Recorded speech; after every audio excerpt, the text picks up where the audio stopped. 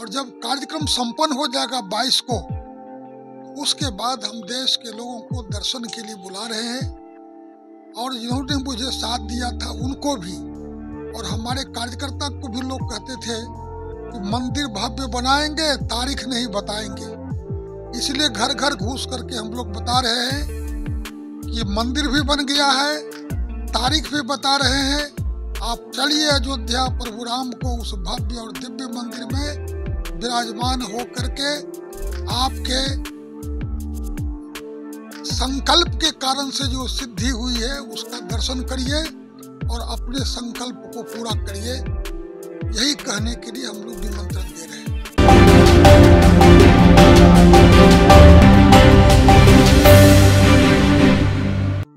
नमस्कार।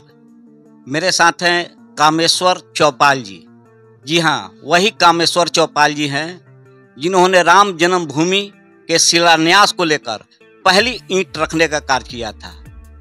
हम बात करेंगे राम लाला के उद्घाटन कार्यक्रम को लेकर।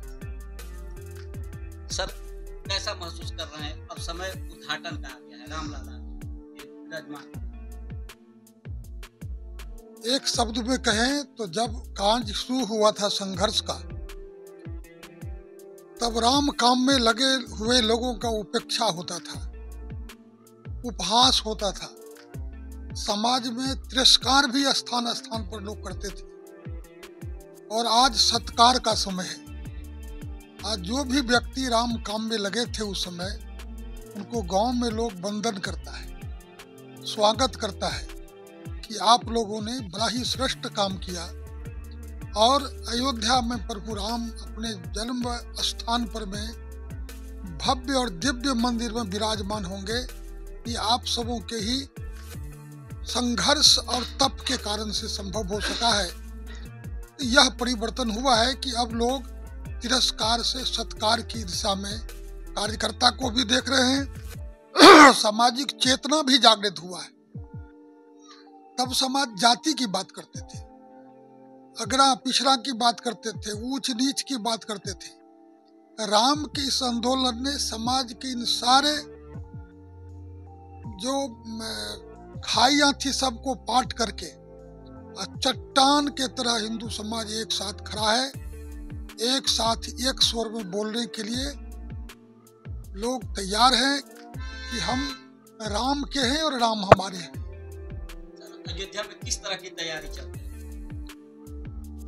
अभी अयोध्या में तैयारी चल रही है कि हम 22 तारीख को भगवान का जो प्राण प्रतिष्ठा होगा, उसमें 10 करोड़ परिवार को हम लोगों की ओर से निमंत्रण जा रहा है। 22 तारीख को जो कार्यक्रम है, वो प्राण प्रतिष्ठा का है। उसमें संतों को बुलाया गया है, आचार्यों को बुलाया गया है।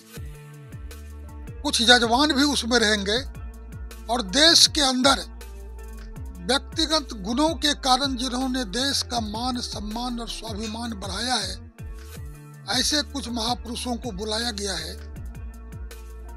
और जब कार्यक्रम संपन्न हो जाएगा 22 को, उसके बाद हम देश के लोगों को दर्शन के लिए बुला रहे हैं। और जिन्होंने मुझे साथ दिया था, उनको भी। और हमारे कार्यकर्ता को भी लोग कहते थे कि मंदिर भव्य बनाएँगे, तारीख नहीं बताएँगे।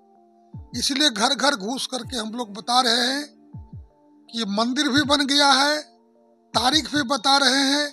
आप चलिए अयोध्या प्रभु राम को उस भव्य और दिव्य मंदिर में विराजमान हो करके आपके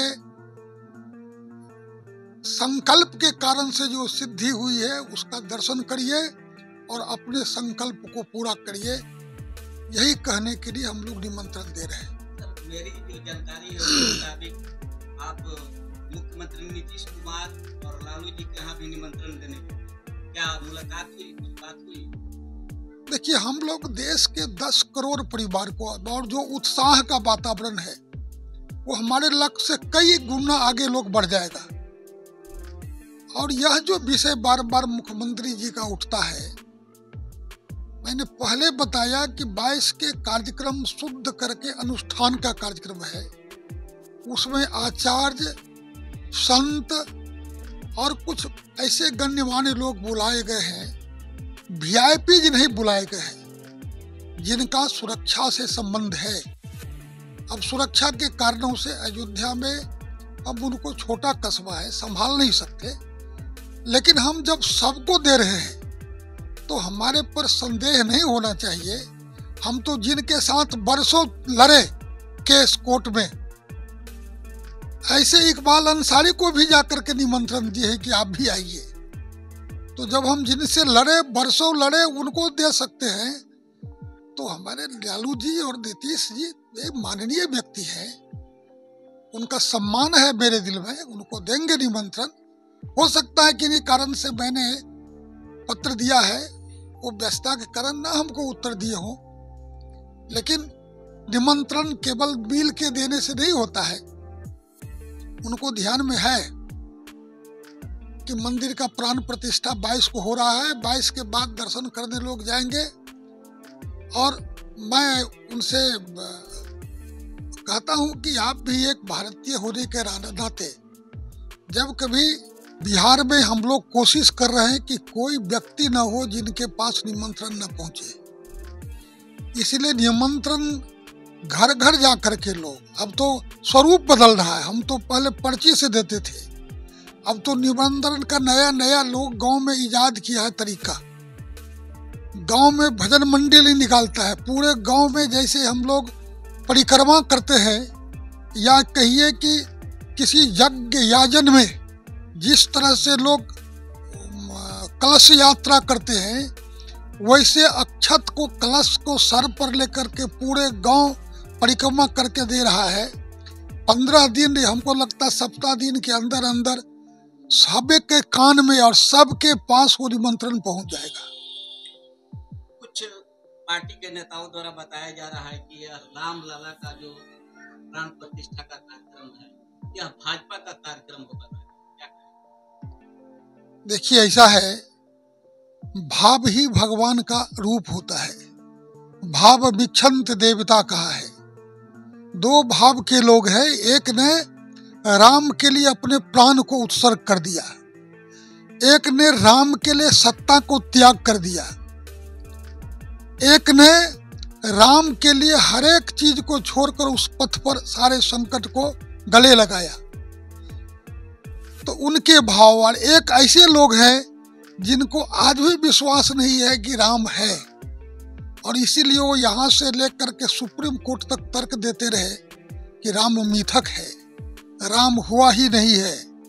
तो जो इस प्रकार की भावना से है, उसमें मैं नहीं समझता हूँ कि हमारे कह देने से उसके अंदर ये भाव पैदा होगा या उनके कुछ कह देने से हमारे मन में, हमारे श्रद्धा में कोई अंतर आ जाएगा। इसीलिए राजनीति करने वाले व्यक्ति के लिए तुलसीदास ने बहुत पहले कह दिया जाकी रही भावना जैसी प्रभु मुहूर्त देख तीन तैसी। जिनकी जैसी भावना है, अयोध्या की लड़ाई को उसी रूप में लोग देख रहे हैं। तो राजद शिक्षा मंत्री है चंद्रशेखर, फतेह बहादुर विधायक है। खुद तेजस्वी यादव कह रहे हैं कि राम मंदिर जाने से, मंदिर जाने से किसी का इलाज हो पाएगा, कोई डॉक्टर, कलेक्टर, इंजीनियर बन पाएगा। क्या कहें?